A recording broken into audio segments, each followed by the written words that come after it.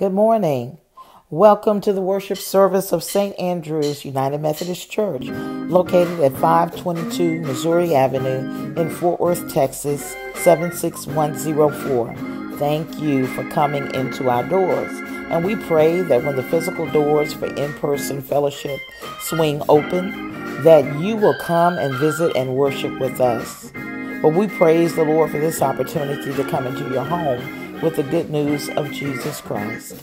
Please take a moment to like our page and also to press the share button so that others may come in also. Thank you.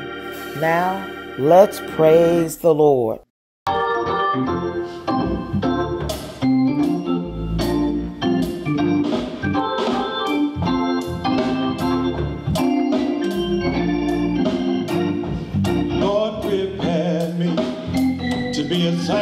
Where?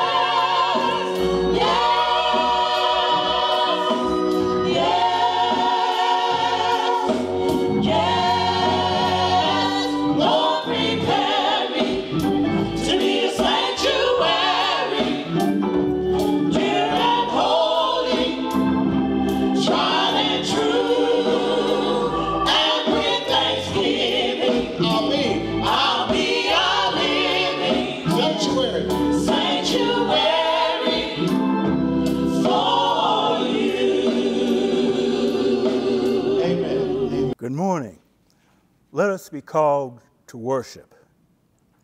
In our darkest hours, God's light continues to shine. In our weariest moments, God's strength is enough. In our times of great isolation, God is always near. So come, all who are weary, for Christ strengthens us with love and grace. And in this strength, we can do all things. We are here, ready to praise, ready to worship, ready to receive God's blessings. Praise the Lord.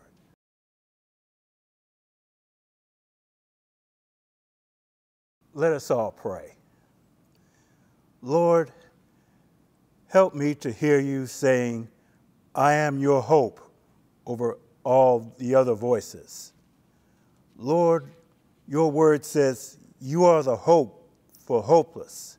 So I'm running to you with both hands stretched out and grabbing onto you. Fill me up with hope and give me a tangible reminder today that hope is an unbreakable spiritual lifeline. God, you know those things in my heart that I barely dare hope for. Today, I give them to you.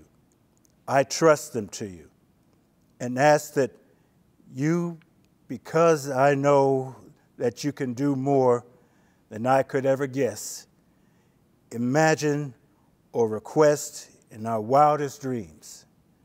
God, you are my hope, and I trust in you. These words we pray.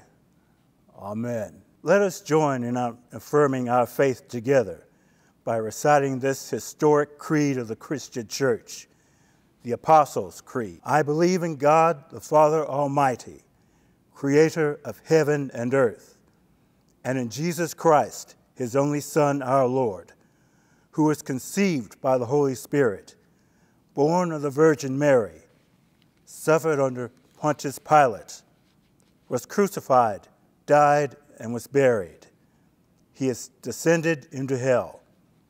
On the third day, he rose again from the dead.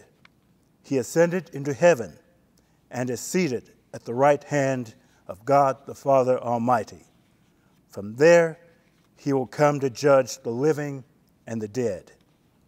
I believe in the Holy Spirit, the Holy Catholic Church, the communion of saints, the forgiveness of sins, the resurrection of the body, and life everlasting. Amen. Church announcements, August 2nd, 2020. Thank you to all who gave to our birthday fund drive. The winning quarter will be announced and they will be granted bragging rights for the year. We have Sunday school classes each Sunday morning at 9:30 a.m. by Zoom and conference call. Join us for Wow Word on Wednesday Wednesdays at 7 p.m. by Zoom and conference call. If you're interested, please share that in the comment section now or contact us by phone or email that you would like to participate. We are preparing our fall studies and programming, so please check our website often for new information as it becomes available.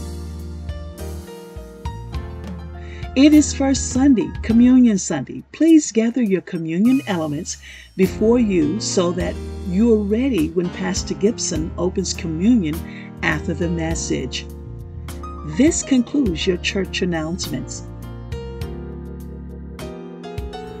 It's offering time. You are invited to give to the work of Christ through St. Andrew's United Methodist Church as an act of worship. The mission of St. Andrews is to impact lives and make disciples by sharing the Christian faith as we interact in the community. This is what God has grown us to do, for there is great and godly work to be done in our community, in our city, and in our world. We are working to be about that business. Our vision is to grow people who grow people. That is who God is growing us to be. Praise the Lord. We have to give God room to move. And that's what we do when we give our best gifts to God through our tithes and offerings. Leviticus chapter 23, verse 22 instructs the farmers not to harvest their whole field now, to us, that doesn't make good business sense because it's like leaving money on the ground. They planted seed right to the edges, but then were instructed not to harvest to the edges. May God have been teaching them to always leave space for God, to honor God, and to share resources with God.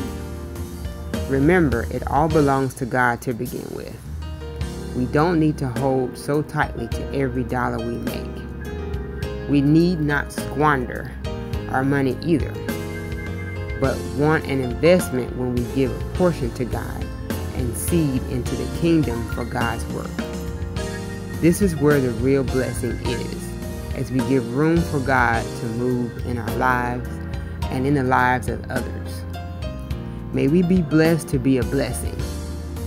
You may give by the Givelify app from your phone from the Givelify button on our website at standrewsftw.org or you may mail your giving to St. Andrews UMC 522 Missouri Avenue, Fort Worth, Texas 76104. You need not be a member to give. Just one who wants to see God's work done in you and in others. Thank you.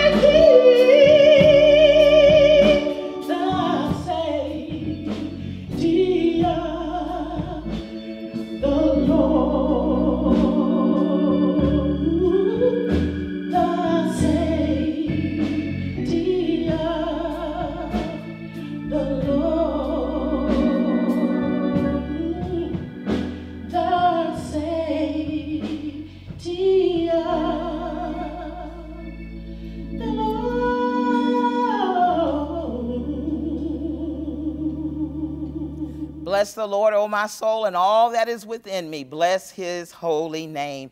Welcome to worship. I'm so glad to be able to worship with you this morning as God comes into our midst and as we give God glory and honor. Our text this morning comes from Hebrews the 12th chapter, verses 12 through 15. Hebrews, the 12th chapter, verses 12 through 15. Hear ye this word. It says, So strengthen your drooping hands and weak knees, make straight paths for your feet so that if any part is lame, it will be healed rather than injured more seriously. Pursue the God of peace along with everyone, and holiness as well, because no one will see the Lord without it. And that 15th verse says, See to it that no one misses the grace of God, and that no bitter root grows up to cause trouble and defile many. For the month of August, we're going to be using a sermon series entitled Higher Ground higher ground. And for this morning's message, as part of that series, we want to talk about cleaning out the closet. Amen cleaning out the closet. Let's pray. God of grace and mercy, we give you praise for this right now moment. We ask, oh God, that we would lay aside the weights that so easily beset us, that we might be at one with you, that we might hear your word, and that, oh God, we might do your word. Now may the words of my mouth and the attitudes of all of our hearts be found acceptable in your sight. Lord, you are our strength and our Redeemer. In Christ's name we pray. Amen. Clean out the closet. If we're going to go to higher ground, uh, we've got to clean out the closet. Amen. Uh, we have lamented about this uh, COVID 19 time, the time of quarantining, uh, all of the things that have happened uh, during this time, uh, our sheltering in.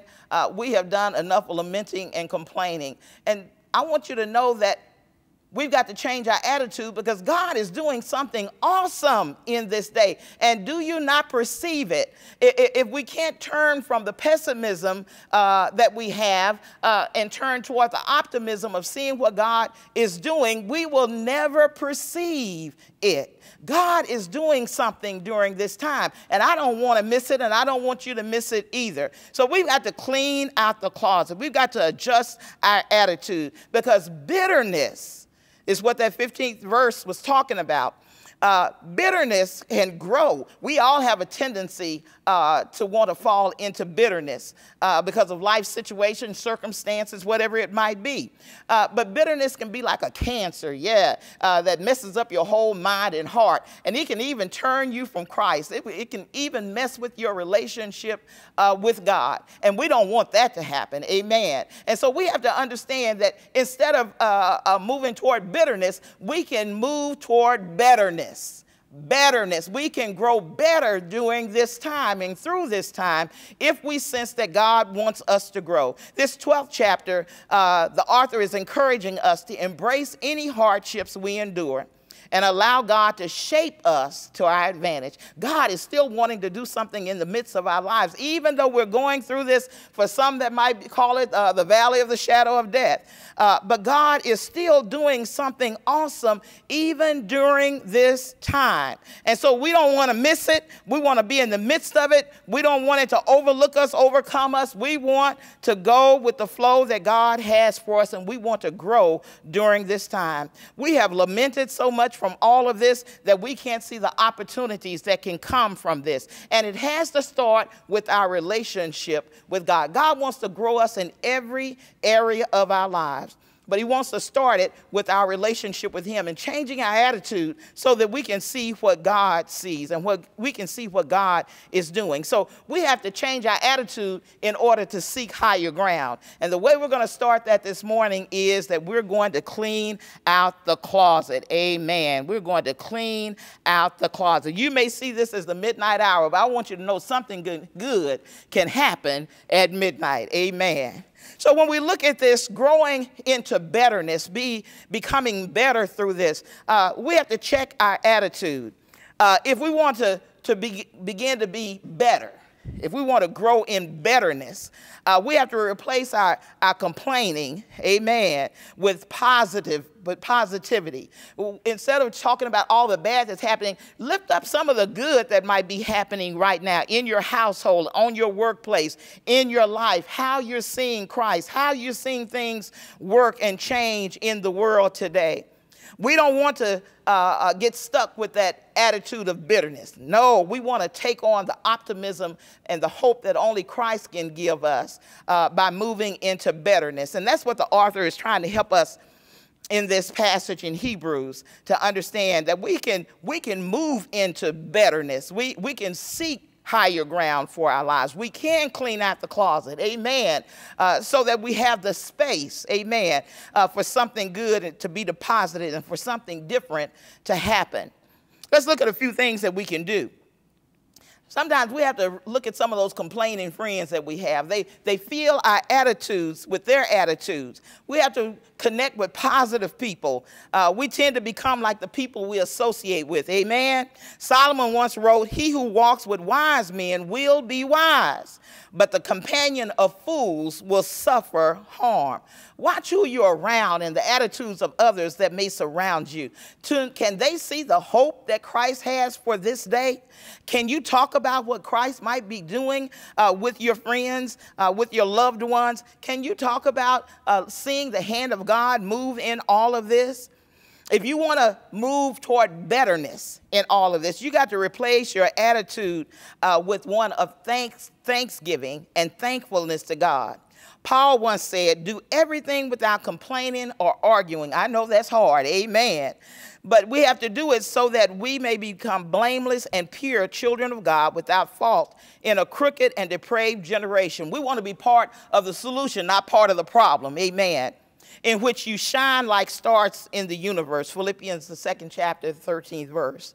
Uh, so if we're going to be better, if we're going to clean out the closet, then we've got to replace our attitude of complaining uh, with one of thankfulness to God. God, I thank you for the food on my table. God, I thank you for another day's journey. God, I just thank you that in the midst of all of this, that you are walking with me, that I am not alone. We have to replace it with thanksgiving and thankfulness to God. If we're going to grow better, we have to engage in the ministry that God offers to us. Paul says, Hold out the word of life in order that I may boast on the day of Christ that I did not run or labor for nothing. When we take out the time and use our talents and uh, reach out to others, when we serve and speak of what Jesus means to us and offer scriptures and comforting passages of hope to others, the Lord fills our heart with joy and someone is impacted what we do is not in vain. We're not spinning our wheels. Gossip will get you nowhere, but sharing Christ will get you everywhere. Amen. That bread that's cast out on the water will not come back void. If we're going to move toward betterness during this time, if we're going to clean out the closet, we've got to replace any bad attitudes with a heart of kindness. Amen. We have to be more compassionate. We have to work on ourselves during this time if we're seeking to go to higher ground. We got to clean out the closet. We got to forgive everyone. Amen. As Christ forgave us. Ephesians 4 31 and 32 says, Put away from you all bitterness and wrath and anger and wrangling and slander, slander together with all malice, and be kind to one another, tenderhearted, forgiving one another as Christ, God in Christ has forgiven you. Oh, we say that's so hard, but I'm going to tell you, it lightens the load for us. Amen. It lightens the load for us as we move toward betterness, as we move toward higher ground. It lightens the load to be able to let some things go. Praise be unto God. We have the power to choose to be kind, caring, and forgiving since Jesus set the supreme example of what that looks like for us. Not only did he set the example of what it looks like, but he modeled that and he showed that to to us. He was kind and compassionate to you and to I, to myself. If we want to grow in betterness, if we want to uh, uh, clean out the closet, We got to watch our negative conversations. Yeah, there's some things that are going to mess you up. There's some things that you're going to be upset about. But watch how you frame them. I used to not ever let my kids say hate because it just drove, it, for me, it just drove something uh, in them to say, I hate this and I hate that, and there was no coming back from it. Amen. And so we have to watch our negative conversation. The scripture tells us to put off your old self, which is being corrupted by its deceitful desires. Do not let any unwholesome talk come from your mouths, but only what is helpful for building others up according to their needs. You were taught to put away your former way Amen. And to accept the new creation that Christ has given to us. And yeah, the old man wants to rise up, but we have to be mindful of our conversations. we're going to clean out the closet, we've got to let us go of some of that old language and the old stuff that we've said and that we've held to. When we learn to speak in an edifying way that builds people up, it fills our hearts with gladness and it builds others up in such a way that they see their own self worth and then they in turn seek to build others up. If we want to move toward betterness, if we want to clean out our closet, we have to be mindful uh, that we can't be engaged in so much negativity, whether it's in television, whether it's in in, in, in any of those things. God wants us to clean up. What are you doing with your time right now? God is going to hold you accountable to the time that He has given you. We often think about uh, heaven as being a place where God is going to record our sins and tell us what I said. God already knows that. God wants to ask you and help you to be accountable to share what have you done with the time that I've given you? What have you given with, done with the life that I've given you? What have you done with this love that I've poured out on you? How have you shared the grace that I've given you? How, what are you doing with your time right now? As we go through this time, what are you doing with your time? The world can be filled with bad news, but are you grasping any good news? Are you sharing any good news? Fix your thoughts on what is good and what is right and what is pure and what is lovely. And even in the ugliness of the world, what can you do to bring hope and help to the situation? Our faith in God calls us to want to go higher in life. Our faith in God calls us to want to clean out the closet so that we, we can move into betterment and not into bitterness. If you want to move into betterment, you got to commit yourself to fulfilling God's priorities. You got to be part of worship. You got to be part of, of, of, of discipleship. You, you got to be uh, uh, growing in Christ, growing in God's word. Uh, it's so easy to say, well, I'm bored. How often have you picked up your Bible? How often have you got on the prayer call uh, to, uh, to be in prayer for others? Uh, God is giving us many opportunities for a new way and a new day in Him. But we've got to see we can't get there by going the old way that we've been going.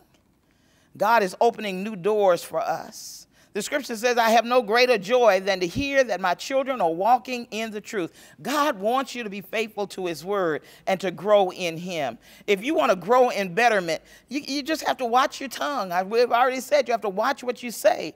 Uh, the scripture says in James 3 and 10, it says, you know, out of the same mouth come praise and cursing. But my brothers, this should not be. My sisters, this should not be we have to learn the language of God so that we can build others up and that we can encourage ourselves with the word of God also. Praise be unto God. So we have some work to do to move toward higher ground. We've got to clean out the closet because God has given us this opportunity right now to kind of look at ourselves and our walk with Him. How are you walking with God right now?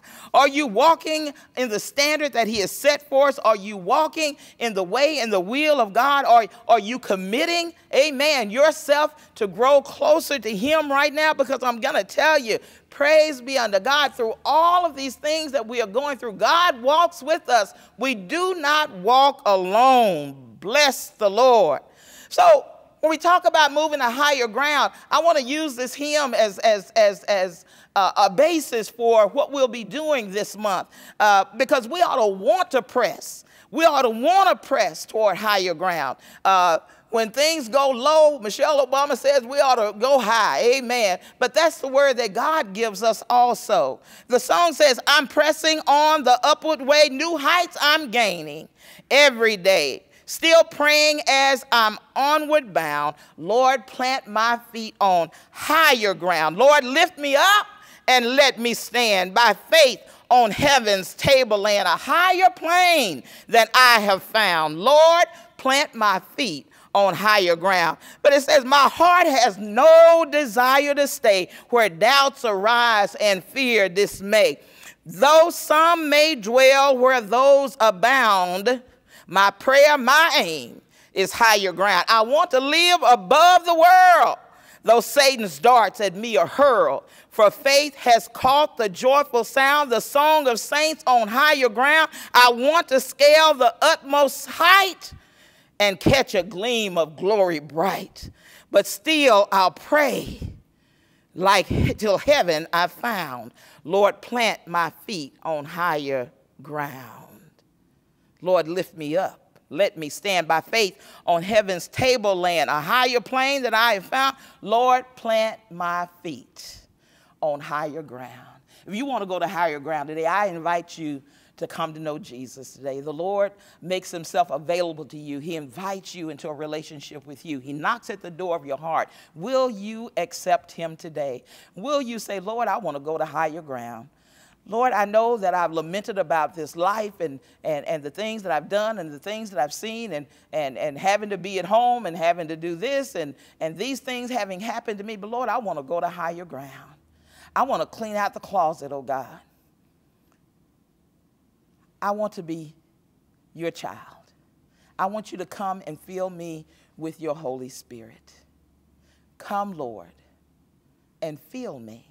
If that's your desire, I want to invite you to call our church office, 817-336-2117. I want to invite you to click on the comments. If you're here by uh, Facebook, click on the comments that you want to be a child of God, that you want to accept and receive Christ as your Lord and Savior. You want to rededicate your life. Maybe you're in a relationship with God, but but but but you kind of pulled back. You want to strengthen that relationship. You want to rededicate your life. Maybe you've not been baptized. You want to come for baptism. We're here to help you with that. Maybe you just want to grow in Christ. We want to help you with that. But if you'll contact us, we will be diligent to coming together with you and helping you on your journey. We praise God for you. And we pray that during this month that you will seek to go to higher ground. Amen.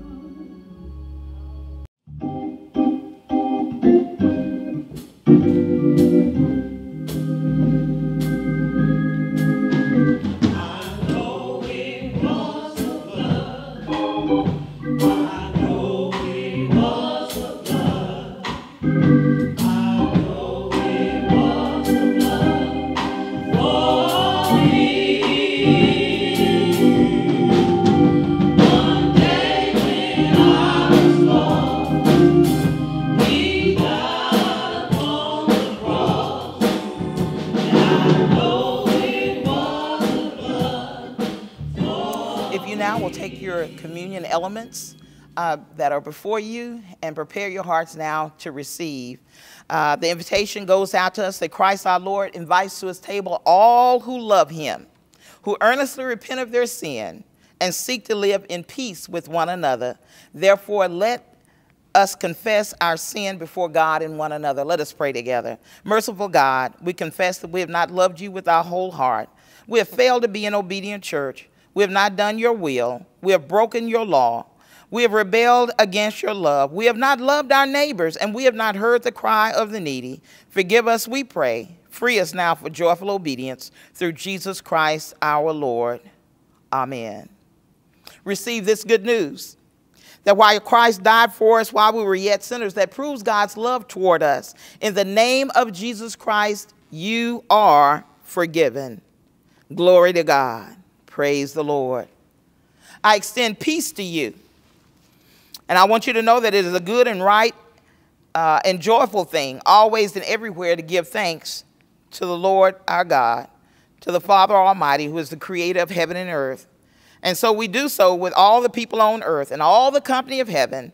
We praise your name and join their unending hymn Holy, holy, holy Lord, God of power and might. Heaven and earth are full of your glory. Hosanna in the highest. Blessed is he who comes in the name of the Lord. Hosanna in the highest. On the night which Jesus was betrayed, he took the bread. He gave thanks and he broke the bread. And he gave it to his disciples and said, Take and eat, for this is my body which is given for you. Do this in remembrance of me. And when the supper was over, he took the cup and he gave thanks and gave it to his disciples and said, Drink from this, all of you, for this is the blood of the new covenant, poured out for you and for many for the forgiveness of sins.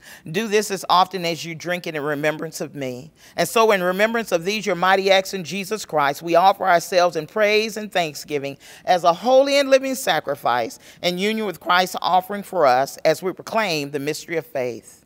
For Christ has died Christ is risen, and Christ will come again. Let us pray. Pour your Holy Spirit out on us gathered here and on these gifts of bread and wine.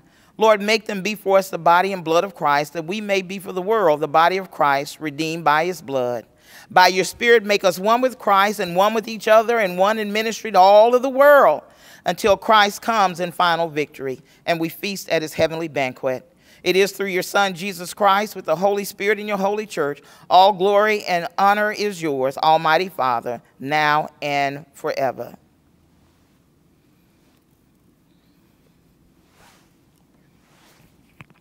The body of Christ is given for you.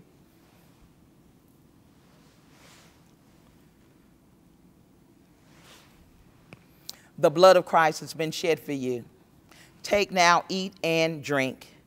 Rejoice in the God who has provided for you, and may his grace be sufficient. Amen. Receive now our benediction. Go forth to serve the Lord with gladness. Leave to practice your faith in your homes, your workplaces, and your communities. Go in peace, and God goes with you. Amen. Tell the world as you go.